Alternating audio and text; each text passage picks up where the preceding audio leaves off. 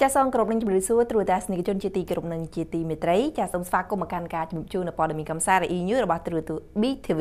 ដែលនេះខ្ញុំអាណាតែងតែលើកយកមកជម្រាបជូនតាក់ទងទៅនឹងសិល្បករសិល្បករនីល្បីៗទាំងក្នុងប្រទេសក៏ដូចជានៅក្រៅប្រទេសរួមជាមួយនឹងខ្សែភាពយន្ត Hollywood ល្បីៗនិងព្រឹត្តិការណ៍សំខាន់សំខាន់នៅក្នុងប្រទេសក៏ដូចជានៅក្រៅប្រទេសផងដែរដែលទាំងអស់នេះគឺមាននៅក្នុងកម្មវិធី E News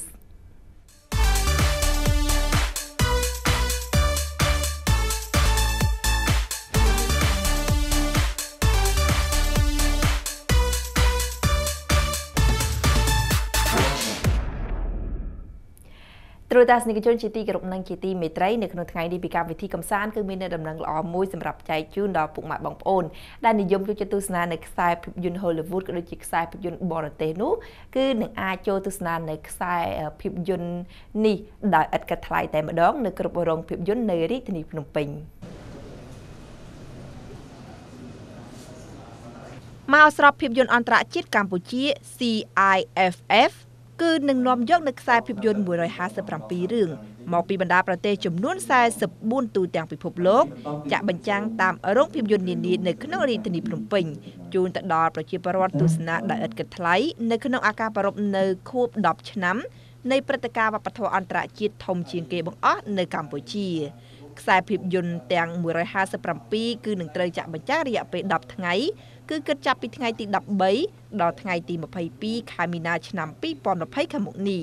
ហើយរោងភាពយន្តធំធំគឺនឹងត្រូវចាក់បញ្ចាំងនៅខ្សែភាពយន្តទាំងអស់នេះរួមមាននៅរោងភាពយន្ត Legend រោងភាពយន្ត Major Cineplex មជ្ឈមណ្ឌលបូផាណា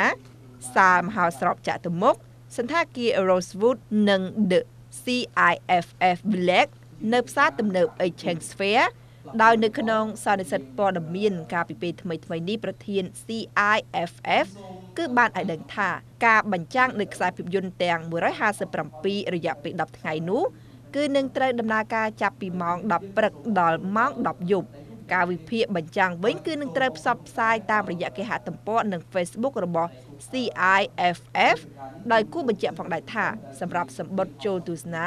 អាចរកបានមុនការចាក់បញ្ចាំងនីមួយៗ1ម៉ោង នៅតាមបញ្ជាសម្បត្តិរបស់មហោស្រពដែលស្ថិតនៅខាងមុខទីតាំងបញ្ចាំងផ្ទាល់សម្បត្តិឥតគិតថ្លៃសម្រាប់អ្នកមកមុន គឺនឹងទទួលបានមុនហើយមានចំនួនកំណត់ប៉ុន្តែសម្រាប់អ្នកមកយឺតឬមិនចង់តម្រង់ជួរអាចទិញសម្បត្តិក្នុងតម្លៃ5000រៀលប្រធាន CIFF បានបន្ថែមទៀតថាខ្សែភាពយន្តរបស់កម្ពុជាល្បីៗ ដែលនឹងត្រូវចាក់បញ្ចាំងមានចំនួន26ចំណងជើង ចំណែកឯខ្សែភាពយន្តអន្តរជាតិល្បីៗវិញ មានដូចជា Parasite របស់កូរ៉េខាងត្បូងខ្សែភាពយន្តរឿង The Cow ឬរូងភ្នំអាតកំបាំងរបស់ប្រទេសថៃរួមជាមួយនឹងខ្សែភាពយន្តមួយទៀតដែលមានចំណងជើងថា One Upon a Time in Hollywood ដែលជាខ្សែភាពយន្តរបស់អាមេរិកព្រមទាំងខ្សែភាពយន្តល្បីៗជាច្រើនដែលគួរឲ្យចាប់អារម្មណ៍ជាច្រើនផ្សេងទៀតផងដែរ ជាមួយគ្នានោះផងដែរលោកប៉ុកបរៈដែលជាប្រធាននាយកដ្ឋានភាពយន្តនៃក្រសួងវប្បធម៌និងវិចិត្រសិល្បៈបានថ្លែងថាបើយោងតាមការស្រាវជ្រាវគេសង្កេតឃើញថាជនជាតិខ្មែរយើងគឺគ្រប់គ្រងនៅខ្សែភាពយន្តរបស់ខ្លួនមានតែ10%តែប៉ុណ្ណោះប៉ុន្តែខ្សែភាពយន្តកម្ពុជាគឺមានភាពរីកចម្រើនជាលំដាប់ហើយលោកសង្ឃឹមថាព្រឹត្តិការណ៍វប្បធម៌អន្តរជាតិនេះគឺនឹងបណ្ដុះគំនិតដល់ប្រជាពលរដ្ឋខ្មែរឲ្យកាន់តែស្រឡាញ់នៅខ្សែភាពយន្តរបស់ខ្លួនឲ្យកាន់តែច្រើនឡើងច្រើនឡើងផងដែរ